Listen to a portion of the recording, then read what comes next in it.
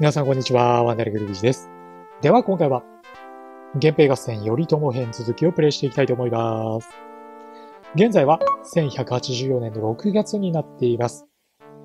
勢力図確認しておくとですね、中国から九州に勢力を伸ばしていた兵士、これを撃破して、残っているのは四国のみというのが現在の兵士の状況です。なので、今回はですね、まずは、伊予に上陸した頼朝、そして九州で兵士を追い落とした義経、これらを使ってですね、四国の制圧戦を行っていきたいと思います。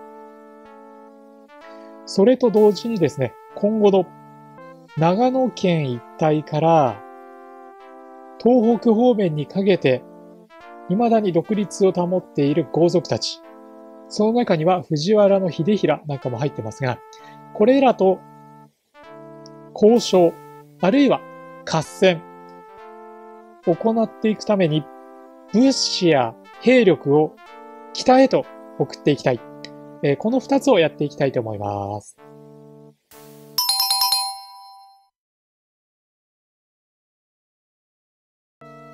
ではまず周辺の木曽義仲や四国にいる、うん、えー、東北、陸奥にいる佐竹、これらに対してですね、まあ、金を使って、ある意味、恫喝を行っていきましょう。まずは木曽義仲の館へ来ました。金1100、これを持参してます。ここは一旦我々からの金の献上を受け入れましたね。まあ、献上とは言ってみたものの、圧倒的に我々の方が勢力を上回ってますからね。では、この要領で基礎吉中、えー、これをまず怪獣していきます。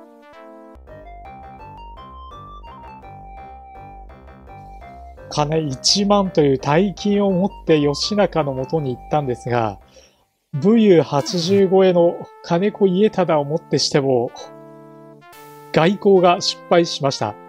まずは、木曽義仲に対しては海戦も辞さないという状況になっています。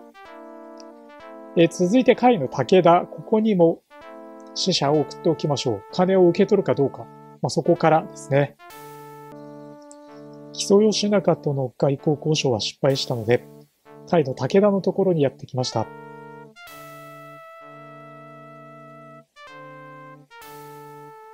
ここでも失敗か。金5000を持ってきても、失敗してしまいましたね。残念ながら武田信義とも決定的に決裂しましたね。では外交交渉ことごとく失敗していますが、今度はですね、紀伊半島にいる湯浅、えー、宗重のところに頼朝自ら四国から都会して金を献上しに行ってみましょう。これでもし外交が失敗するようであれば、えー、もう武田、木曽、そしてこの湯浅と三つの勢力は敵対関係確定という風にしていきたいと思います。頼朝が言ってもダメですね。では、えー、これらの勢力と対決するために予定通り物資を北へと送ります。頼朝はこの後ですね、四国の兵士を滅亡へと追い込んでいきましょう。では、時間を進めます。では、合戦の準備が整いましたので、頼朝義経ともに最大兵力を率いて、四国に残っている兵士勢の討伐に向かいます。物資は今ですね、山陰山陽、そして九州から平安京へと集めているところです。まず頼朝ですが、屋島へと向かいましょう。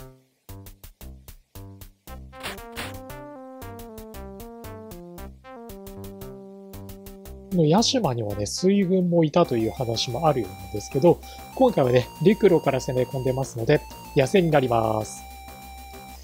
兵力もだいぶね、えー、増えてます。源氏の勢力が広まったことによって官位も高いものが与えられているので、えー、熊谷直光、和田義盛なんかは兵力2000を率いるような状況になっています。ただ敵もここは動員兵力多いですね。しっかり敵をね、撃破して四国の兵士を亡き者へとしていきましょう。一気掛け、熊谷直光で仕掛けていきましょう。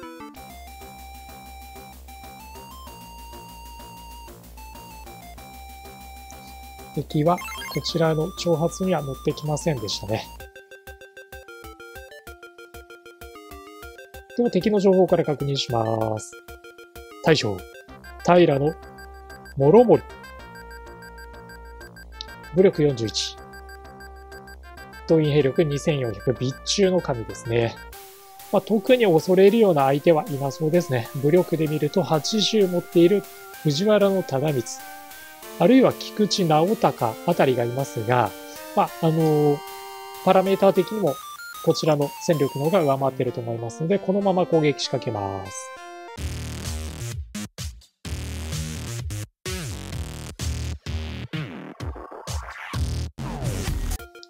はい。もろもりを打ち取りました。これで、ヤシマが取れています。続いて、義経は土佐へと向かってもらいます。土佐でも合戦になりますね。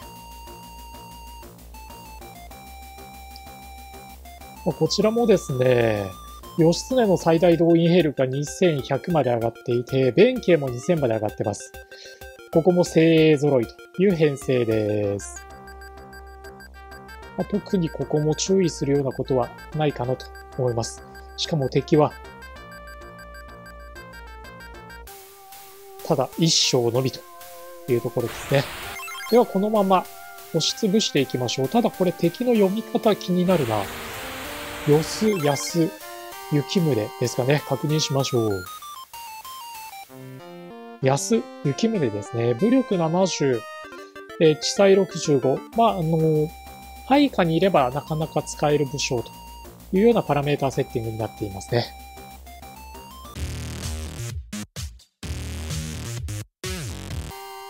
はい。義経弁慶コンビで敵を撃破です。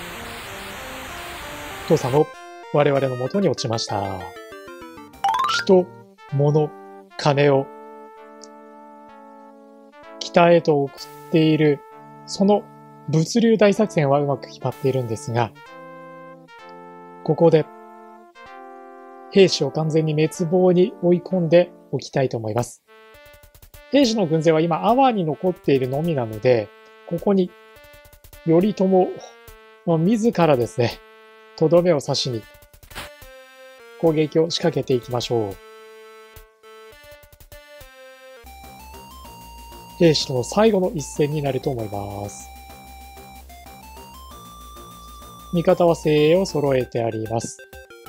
吉森直光、重忠、清重。まあ、いずれも精鋭中度精鋭ですね。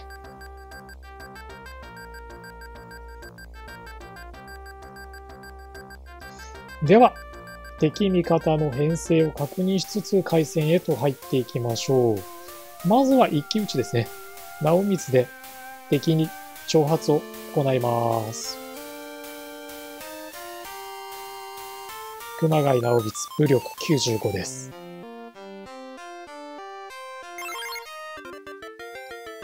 持ってこなかったので、敵の式を下げています。ではまず敵の情報から見ましょう。まずは、現兵士の棟梁、清房。ご覧のようなパラメータです。動員兵力2200ですね。その他、まあ、武力の高い武将はもう残っていないですね。味方、頼朝率いる軍勢ですが、ご覧のように全員80超え、頼朝だけ76という武力のパラメータです。ではこのまま改善しましょう。ちょっとびっくりなのが、清房、つまり大正自身の増票の数が一番少なく編成されてますね。一番後方に控えているというのはあるんですけど、大概の場合ですね、大将のところに一番兵力集中させてくることが多いので、これはちょっと意外でした。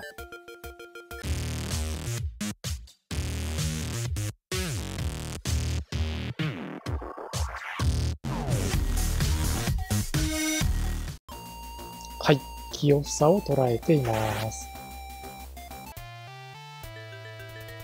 では、清房を処刑します。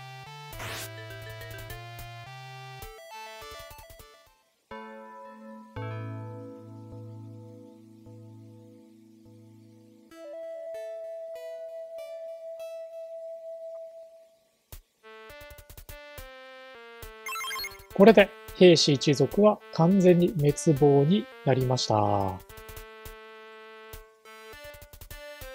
では、この後はですね、冒頭でお話した作戦にのっとって、え北の豪族たち、まあ一部はすでにですね、我々との外交交渉を拒絶しましたので、これらに対しては敵対的行動をとっていきます。その様子は次回お届けをしていきたいと思います。今回はここで終了させていただきます。